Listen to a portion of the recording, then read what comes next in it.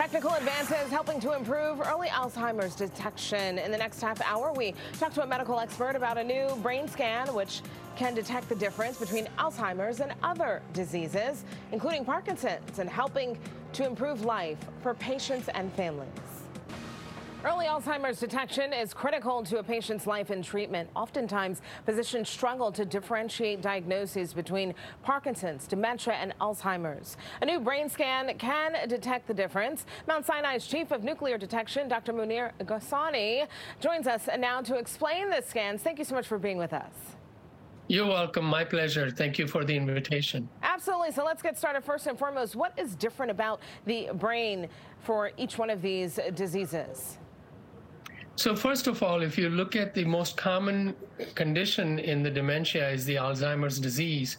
Uh, the, that in that condition, the patients are slowly losing their memory and their fun other functions, and slowly it becomes difficult for them to even have more simple tasks, such that they are fairly limited in their capacity, and eventually most patients die after several years of progression of Alzheimer's disease.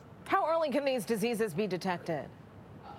So clinically, the neurologist can, uh, based on some of the uh, symptoms, can start to suspect it.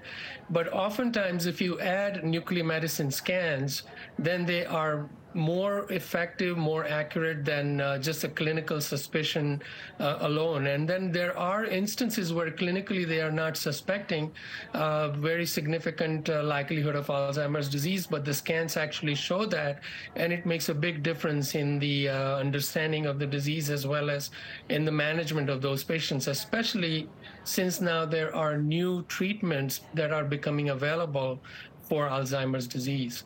You've described some of the symptoms, but do symptoms need to be present? Yes, the symptoms need to be present. Yeah.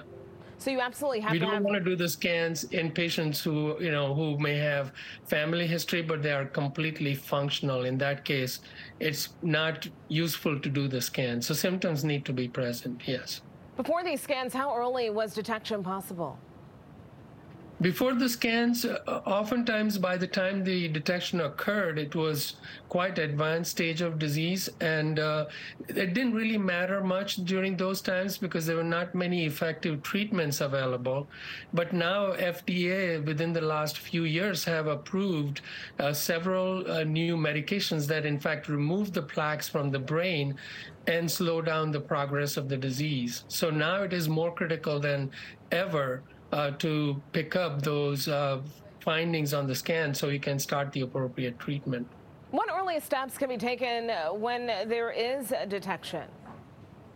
So when there is a detection and if, if the patients are suitable for one of these newly approved agents that uh, that remove the plaques, these are quite effective and uh, they slow down the progress. Unfortunately, yet there is no cure for the Alzheimer's disease. But if you can provide uh, the patients some quality of life for a few additional years and have uh, you know their good family time and more functional status, those all are very effective uh, measures that you can take to improve the quality of life of these patients. What can delay the effects? I'm sorry, what was the question? What can delay the effects? What can slow it all down? Uh, so these agents that use the uh, the method to remove the plaques from the brain, that in fact does slow down the the progress. And at what point does you know, in terms of the symptoms, does dementia or Alzheimer's start to look different? So there are some commonalities. Uh, for example, you were referring earlier between the Alzheimer's disease and Parkinson's disease. In the Parkinson's disease, the patients have uh, more uh, stiffness, they have uh, uncontrolled movement. So, for example, what you're seeing on the scan and where the arrows are pointing out are the areas of the brain where the signal is lower.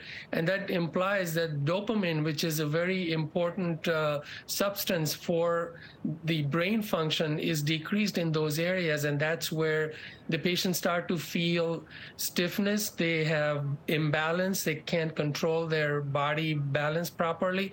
And they have uh, uncontrolled movements of the body. And when that advances further, they also start to have some dementia symptoms. And if you use the nuclear medicine scans, for example, the one that you're showing is very, very specific when uh, those signals are slowing down and you don't see an signal in that area, that favors the possibility that this may be Parkinson's disease. Mount Sinai's Chief of Nuclear Detection, Dr. Munir Ghesani, thank you so much for joining us. We appreciate it. You're welcome. My pleasure. Thank you for the invitation.